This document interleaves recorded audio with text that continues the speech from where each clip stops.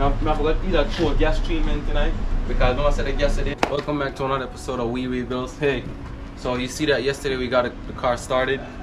Now that it's started, um, um, I end up changing a good amount of fuse. End up, we had three blown fuses. So we had a 10, a 30, and that 30 in the back. So now we only have about 15 codes. So we still have that um, communication code. So I just need to probably fix those green and and pink wires. So I'll just look more into that and look at the the, the, the wiring diagram that Audi has. But hey, we're gonna move it front to back. Anyways, like, share, subscribe, drop, drop your comments and thoughts down below. Turn your post notifications on. Hey, don't forget to check out WeeRebuildz.com. Copy yourself some merch. And hey, and also click on all social media links. Make sure you share this video. Hey, let's get into it. Hey, so as you can see, we move up some of the stuff. We got some of the stuff um, installed. Uh, so we put the engine cover back on. You can see I still have these wires taped off. So I still need to do that. And some of the boxes on. I zip tie these wires so I can move it a little bit and then see what happens. Plus I got a coolant bottle over there. The exhaust is in. So that's also on the car. Right now quad tips. So now we're about to reverse it. I still can't get the trunk to open. I don't know what's wrong. So it's either either that switch or the switch up front or something is not reading or some sensor so but i'm about to move it right now and let y'all see it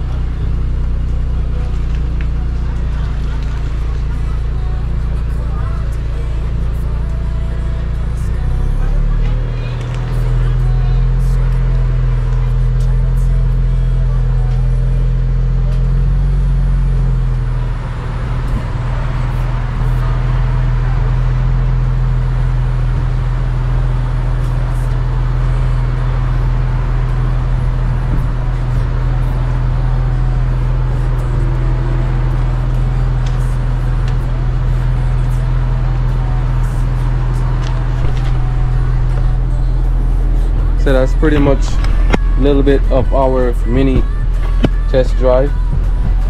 Uh, but you could see all the codes on the, the dash right now. So these are all the codes that I have so far. But apart from that um, still got the ABS light and the airbag light. And then we have a whole bunch of other stuff that keeps popping up yeah.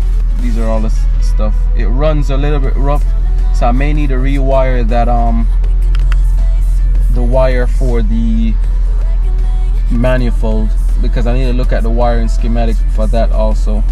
So but that's pretty much it I have left to deal with honestly because and then just to find out why it's running so rough because this gas has been in this car for about three years. So uh, I could see if I could put the car in a dynamic. Hold on let me see if if it will work or if I could find it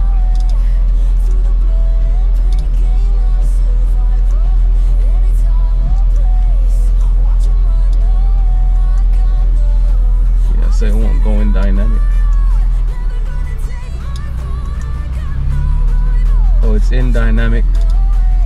And then that's comfort because it's not vibrating as hard. So back in dynamic